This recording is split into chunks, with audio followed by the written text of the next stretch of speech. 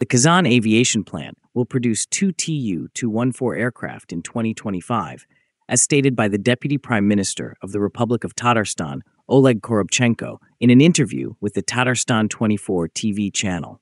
This is a significant announcement considering that Altitude Addicts reported that the company will produce five aircraft in 2025. You can find the video published on January 7th. Oleg Korobchenko contends that the expansion of Tu 214 production is a multifaceted matter.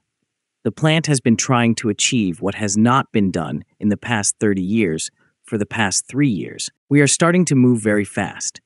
As of today, our plant has built a large number of production facilities, purchased new equipment, trained personnel, and engaged partner factories within the United Aircraft Corporation, UAC.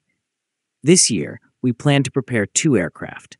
A significant volume needs to be caught up, said the Deputy Prime Minister. Consequently, the deputy head of the government of the Republic of Tatarstan formally stated that the Russian government's aviation industry development program's 2025 targets could not be completely achieved. In the spring of 2024, the comprehensive program was modified. The initial projection was that seven Tu 214 aircraft would be manufactured in 2024. However, only one was actually completed. The objective was decreased from 10 to 4 in 2025.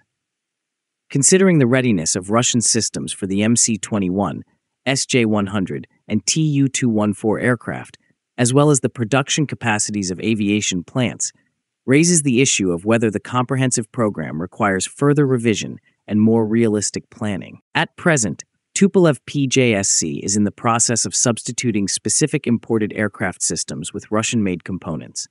These replacements consist of radar systems, ground proximity warning, and collision avoidance systems, and imported processors. Furthermore, the hydraulic and electrical systems, as well as the lighting technology, are currently being modernized. An updated integrated flight control system is currently being developed to facilitate the development of a two pilot version.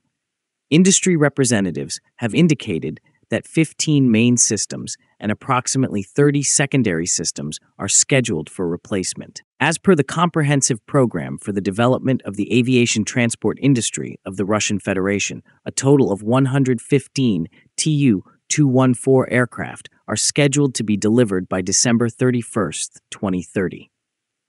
The Kazan Aviation Plant is expected to implement several significant facilities in order to increase the production of the Tu 214 and produce four aircraft in 2025. It is necessary to examine the past promises of this Russian official. Korobchenko announced in 2023 during a live broadcast of the Tatarstan Online program that the facility intended to achieve an annual production rate of 20 Tu 214 aircraft in the near future. At that time, the current production volume of only 1 to 1.5 aircraft per year was considered temporary. The minister anticipated that the plant would transition to full scale import substituted production, as is the case with its foremost global counterparts. Korobchenko underscored in the same broadcast that the plant had the capacity to manufacture as many as 100 aircraft annually in the long term, a goal that was even discussed with the president of Tatarstan, Rustam Minikhanov. Two years later, those plans remain unfulfilled. In 2025, the plant plans to produce just two aircraft. Initially, the goal was to produce 10 aircraft, later reduced to four.